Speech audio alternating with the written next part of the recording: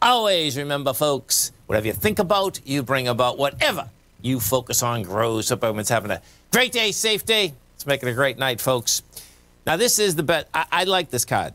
There's no doubt. I'm going to read it again today. Always do your best. Take action on your ideas. Doing your best means take action on your ideas. You can have many great ideas in your head, but without action upon an idea, there's no manifestation, no results, and no reward. Yesterday's gone, tomorrow's not here. What are you doing right now? And don't worry about basically falling down, folks. This is a great card, man.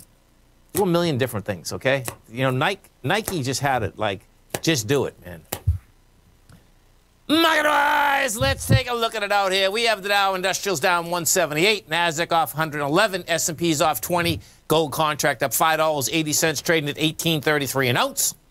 We got silver down 16 cents, $24.37 an ounce. Light sweet crude up 224, $84.17 a barrel. Notes and bonds. The 10-year note up 16 ticks, trading 131.26. The 30-year up a full point plus 11 ticks at 163.19 in King Dollar.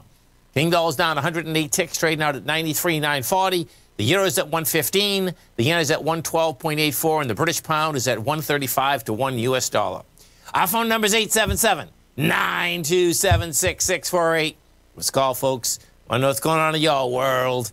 In the world of the S&Ps, let's take a look at them. What do you have? Well, you got a slightly lower market out here. Uh, S&P doesn't have any volume on the way down, man. You're 40 million shares on the way down, and uh, you're coming into uh, 52 million. So we'll, we'll do 50 million something.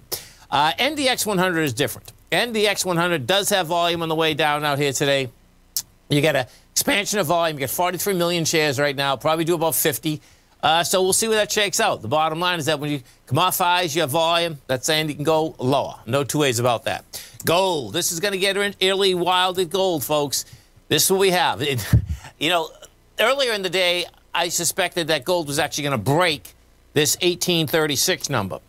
And you know what? We still might have a shot at it because just when I came on, they're, they're pushing this market just a bit. And my take right now is that we're actually going to break the 1836 and explode topside. The reason I'm saying that is because what we've had uh, for a long period, well, June of last year, each and every time that we've come up to the 1836, 1839 level, bottom line, monster resistance, failed each and every time.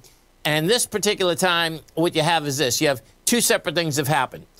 The retracement off the last surge forward, okay, was a very slight retracement. In fact, if I bring it up here, you're going to see, I believe it's it's it's maybe a 0.2823 or something. Well, no, it actually was a 50% retracement off the off the move. So it was a 50% retracement, um, which which is a normal retracement. Uh, we get over and we take a look at the good old U.S. dollar. It's going to be about the dollar here. There's no two ways about it. The dollar is at 93, 934, and the number to keep your eye on, and right there isn't much movement in this dollar out here today, but the battle line is at 94, 730, 729. That's the battle line. If if the dollar comes back inside that, bottom line, they expect you to see some fireworks inside of the gold market. The reason I'm saying that, folks, is this: is that what we had done is this: we broke topside in the dollar.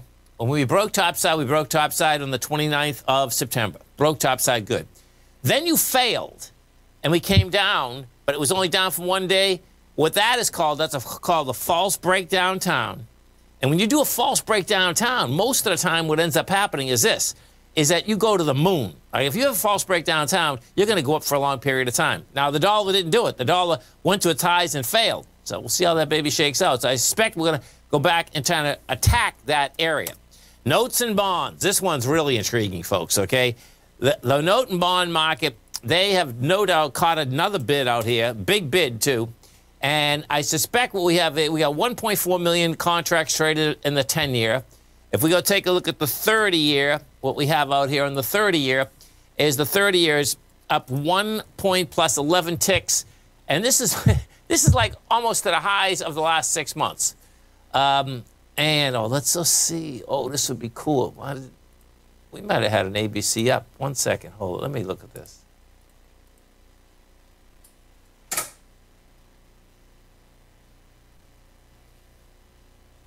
Okay, so no, it's not an ABC up. Uh, bottom line, though, it looks like it's going to the top of the range. The top of the range right now is 165. And, um, you know, there's, there's some real action out here. Now, here's, here's the kicker, folks, okay? This is where I think is going on here. and this is going to be interesting. You know, if you asked me yesterday um, who the Fed, new Fed chairman was going to be, I would have said Powell. And then what ended up happening is this, is that the, so Biden, and this is after Biden already interviewed both Powell and, um, uh, what's her, her, oh, oh my God, hold on.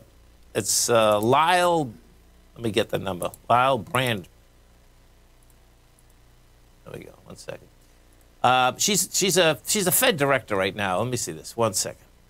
It's, it's she's, there it is. Okay, so it's Lael Brainard, right? And, you know, I was going back and forth saying, okay, I, I, I just don't see Biden replacing Powell. And just because of the fact, thanks, Tom, um, that it, it's a big play. But then all of a sudden I start realizing something like, okay, so what normally happens is this, folks, is that just the interview process alone, they knew meaning Biden and the administration knew what they were doing, that the interview process, they wanted to see my take. Now, I'm speculating all of this. My take is that they wanted to see how the market would react. Well, the market didn't do anything. And then when I start thinking about it this morning, I says, hey, you know what, man? What's going on here is that, you know, the bottom line is that Powell's saying lower rates for longer. This woman, okay, no doubt, as Z says, highly trained woman, she has a PhD from Harvard, uh, macroeconomist. Um, she has the credentials and she's dovish. Um, and the market will love it because the market, and that's what that's, that's what's going on in that bond market right now. The people were on the wrong side of the bond market, and they've been trying to basically flatten out or get on the other side for the last week and a half. But that those bonds are saying that guess what? We're going to hear the next. I bet it's the next week. We're going to hear they're going to new Fed, and it's going to be a chairwoman. Stay right there, folks. Come right back.